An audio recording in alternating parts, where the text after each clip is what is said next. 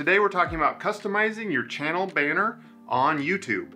And it's important because that changes from device to device. So we're gonna talk about uh, one way in Photoshop and then um, sort of a cheater way if you don't have Photoshop. Keep forgetting the mug of the day, so I'm doing it straight up front. No idea if this is an official product, but uh, you need a big mug if you're gonna have an eggnog latte with leftovers of the eggnog, so.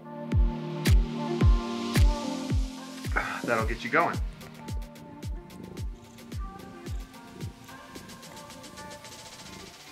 Hey everyone, my name is Chris. If you're new here, this channel is about the creative process, it's about video craft, and it's about living life. I started a 30-day vlog challenge at the beginning of January, and so we're uh, more than, uh, we're about three quarters of the way through that now. And now the reason why this is important is because this is what people see when they click on your channel. Say they find your video, uh, you know, find one video of yours, they've never watched you before, uh, when they click on your channel to see if they want to subscribe to you, this will tell them in just a blink of an eye if this is something they're interested in.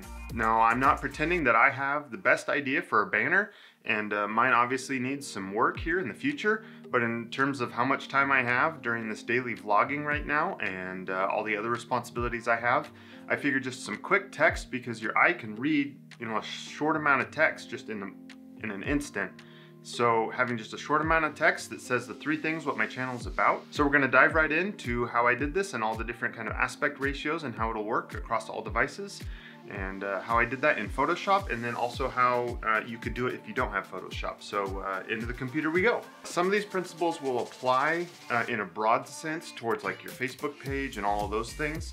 Um, but this is specific towards your YouTube channel. So the first thing you're gonna wanna do, you can either create your own template or you can download the one from YouTube. Right here is YouTube's video on setting this up, but I'm actually gonna go through some of the steps in Photoshop. Up in the corner here is uh, from YouTube Help, and you can download the template art straight from YouTube.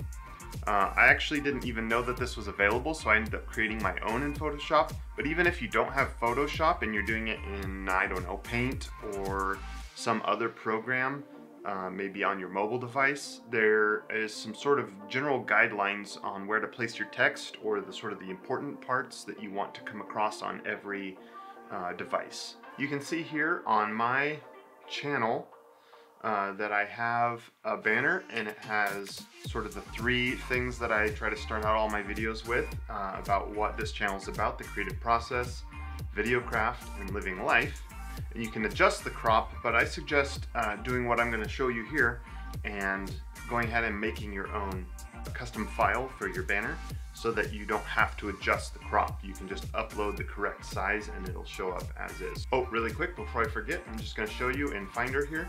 This is the zip file that you will download from YouTube. So when you open it, it'll give you a Photoshop and a Fireworks, a PSD and a PNG. So it's gonna look like this and you can turn on the specs on and off in in the folder here. You can see it drops down and it'll give you um, the different text and uh, what you're doing with that, the different crop levels.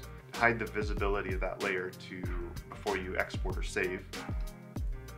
And you can see here I've dropped in my layer and I don't have any text in there. So what you're gonna wanna do is just bring your text box within and if you have snapping on, it'll snap. You can see how it'll snap directly in there. So you can go ahead and type in whatever you want your text to say. In this case, we're gonna say the creative process, video craft, and living life. Oops, life, life. You can just kind of slightly reposition your text. You can use your keyboard arrows to just nudge it. They call that nudging.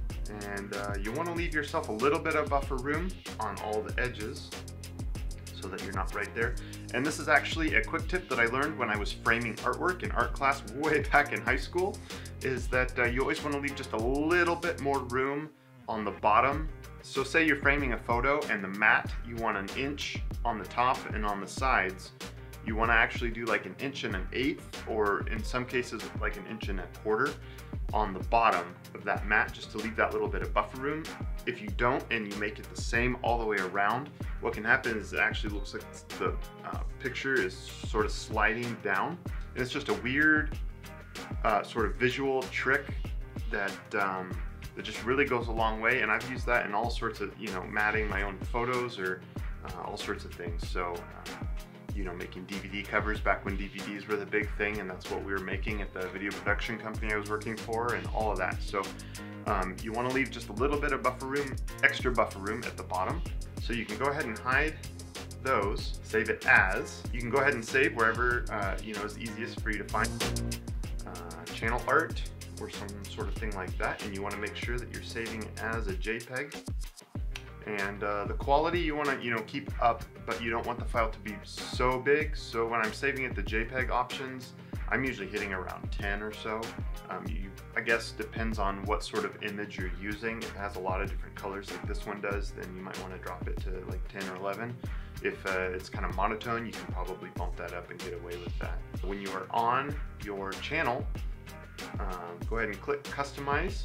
Uh, or if you're on this particular page, uh, go up into the upper right corner of your banner, click the little pencil and click edit channel art, select a photo, channel art, open, whoop, and you can kind of see in each of the previews that uh, that text is going to be in the quote unquote safe zone. If you guys are used to, you know, the uh, safe zone for making videos, and just go ahead and select that and upload. I'm not gonna go, go ahead and upload because I already have that up there.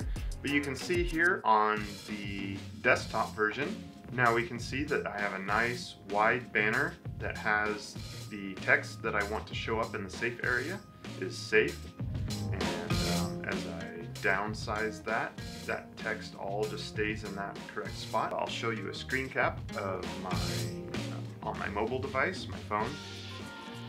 I don't have a tablet, so I can't show you how that works on that. There you go, pretty cut and dried. Now, uh, another way you could do it, if you don't have Photoshop, and I'm gonna use Photoshop to illustrate the principle here, but if you don't have Photoshop and you're just editing, so you can see here as I'm turning this these layers on and off, that the safe zone is just a little bit smaller than a third of the screen. The height is 423, as you can see here. 423 pixels of the 1440, so you can do the math and figure that out. It's just right about there at a third of the screen.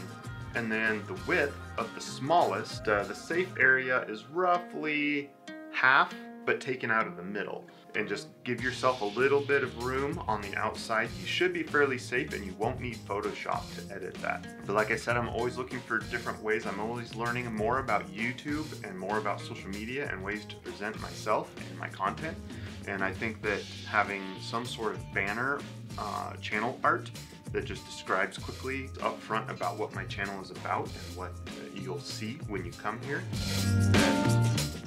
hope that that'll drive some more traffic, some more views. So that's it for today, guys. Like I said, I hope this has been helpful. Go ahead and leave a comment. Um, I sure would appreciate if you guys would um, just let me know sort of your ideas on channel banners, channel artwork, uh, other social media platforms. Subscribe, ring that bell to get notified so that you uh, are updated whenever I upload a new video. If you're interested in learning more about the creative process and just sort of how to move through that day to day, um, learning more and more about video craft and YouTube, and then just every day just taking another step to improve our lives and lives of those around us. At any rate, thanks for joining me. I'll see you tomorrow once again.